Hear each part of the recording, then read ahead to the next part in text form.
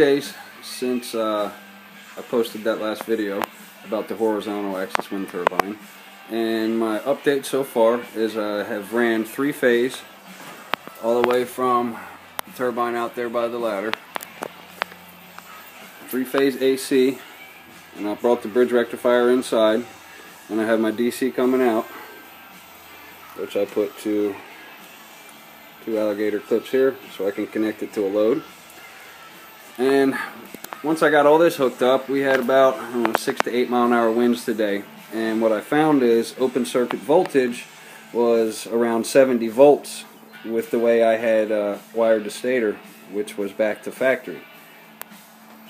Which I believe this thing's capable of producing around 400 volts maximum. So what I decided to do was since this spins a lot faster, I can get more amps by going back to breaking the coils down into three sets.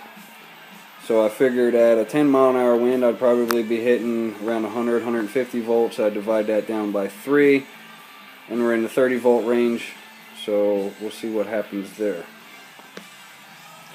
So what I've done here so I just went back, my ground's all tied together for one loop and then each individual coil ties into its own its own phase three times. So your first set's here, the second set will be here where it ties in, one, two, and three, and then over here, one, two, and I got one more to do, and then we'll go ahead and get everything mounted back up.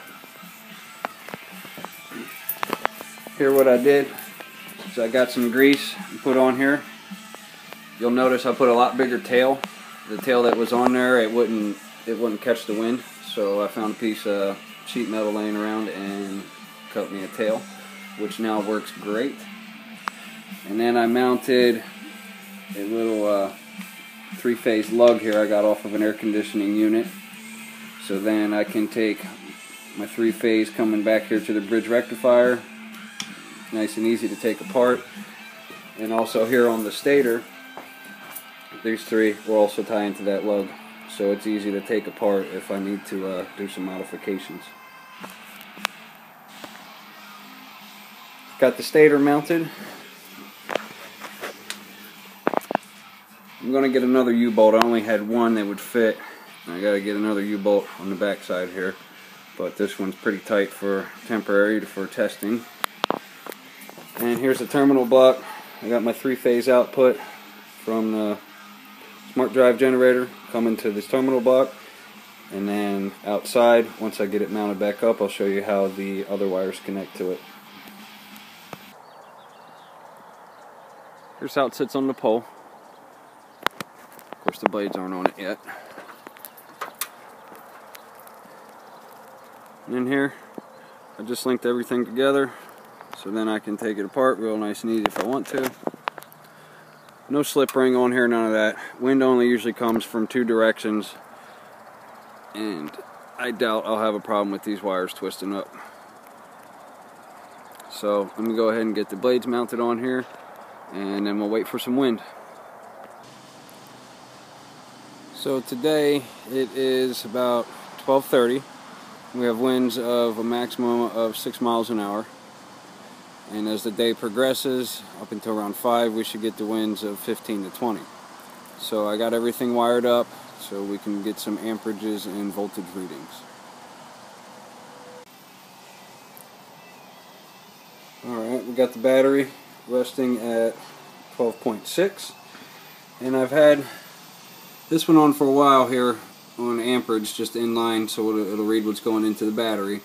And just in this 5 to 6 mile an hour wind we've already hit over half an amp which was real hard to do with the Savonius wind turbine there. And I had it wired back to the factory setting so at a slower rotational speed the generator would produce high enough voltage to actually charge the battery. But with the new wind turbine I was able to take that generator and wire it so that it could rotate faster and produce more amps. But it would have to rotate faster to produce a charging voltage. So it seems like in the 6 mile an hour wind when it was blowing, we did hit a charging voltage, so it started producing amps. Uh, so that's a good sign. So here in an hour or so when the wind picks up a little more, uh, we'll take another reading. So we had another little gust come through and I hit almost an amp.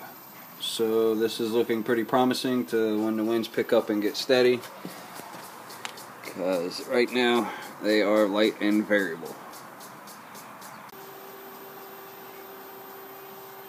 Kind of exciting here. First time I have broken amp.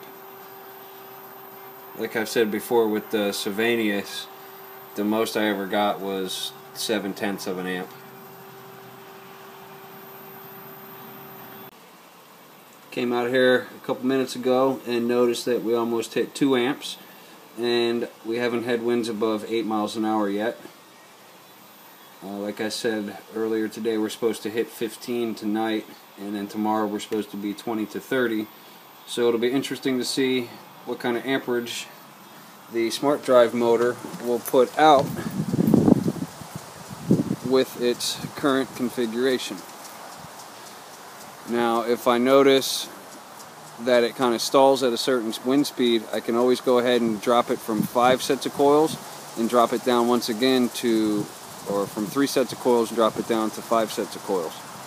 So that'll raise the This is cut how it's wired currently. speed for charging voltage, but I have three series increase my amps strings wired in the parallel. That's how the coils broke down into three sets of coils. But in each of the strings, you have four individual coils that are wired in series. This has a cut-in charging voltage of it looks to be around about 60 RPM. In this next picture here, what I might do is rewire it to this, where I'll have one, two, three, four, five, six sets of coils. But in each of those coil strings, I'll only have two coils in series. So that will raise my cut-in charging speed, but it should increase the amperage quite a bit.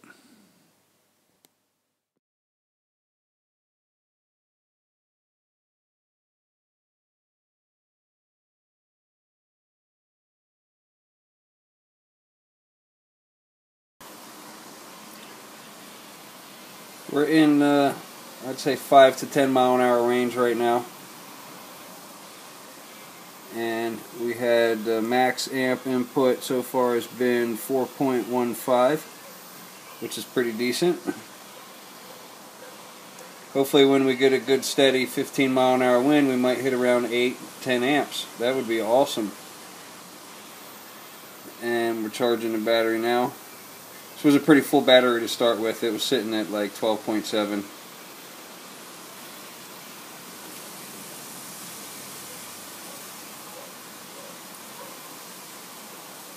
Nice.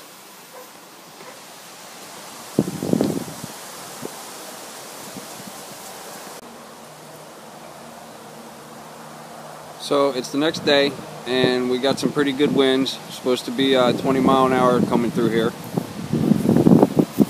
Get out of the wind here so it don't mess up the video.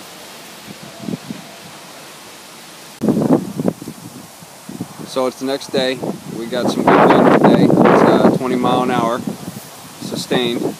But the wind turbine's in a dirty wind area because the wind is coming from my back left shoulder at most times and it's being blocked by the house.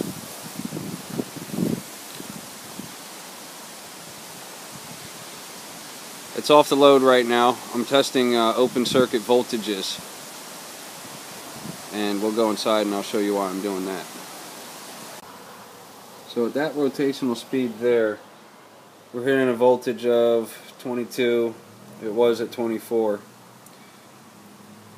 There it goes again. And the best I've had so far has been 44 volts. Now, like I just mentioned, the windmill's in a dirty wind area. So if this was up 30, 40, 50 foot in the air and it could get clean wind, on a day like this it would be well over that 40 volt mark there. So what I'm thinking about doing is taking the coils and I have three sets of coils now all paralleled together. So I'm going to go ahead and drop that down to six sets of coils all paralleled together. So where are we at here? 24 volts, 25 volts. Spinning that fast. If I drop it in half, in theory, I should still be able to charge the battery at that rotational speed. That would be my cut-in speed, basically. And then anything above that would just start generating amperage to go into the battery. So, amperage-wise,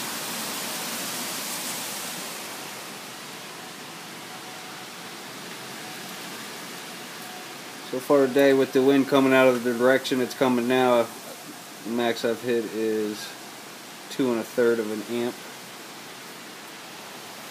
The wind's blowing nice and hard out there right now, but it's just not catching the wind where the wind's blowing.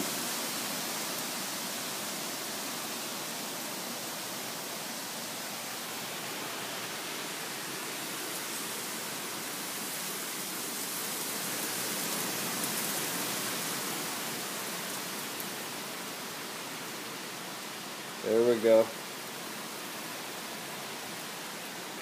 My highest reading of the day. So, if I take the coil set from 3 and knock it down to 6, the amperage should go up quite a bit, plus it's going to be spinning a lot faster. So, in theory, if I just hit 3 amps there, I should be able to hit 10, maybe 12 after I rewire it. So if I hit 10 amps, that's 120 watts. That would be going into my battery bank. Oh, and another thing here. I had this one here just on the wind turbine itself. And when the wind would pick up and I hit those 4 amp marks yesterday, uh, the battery voltage would go to 15.6, 15.8. So what I did is I got some heavy gauge uh, wire here and just ran that back to my terminal block here so it's tied in with the rest of the batteries. Now uh, when I when it's charging with the wind and the solar it uh, the three batteries on there in parallel absorb the shock of the high voltage a lot better. So I got some more solder. I'm going to go ahead and pull this thing down and wire it for six coils in parallel and see what that does for my amps.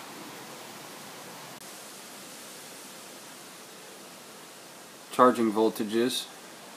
My max I've hit is 14.65 so the batteries are keeping the voltage clamp down pretty decent. Got a gust of wind out there now. Oh, almost hit 15. Yeah, so this here is definitely showing me that the generator is putting out too high of a voltage when we catch a good wind.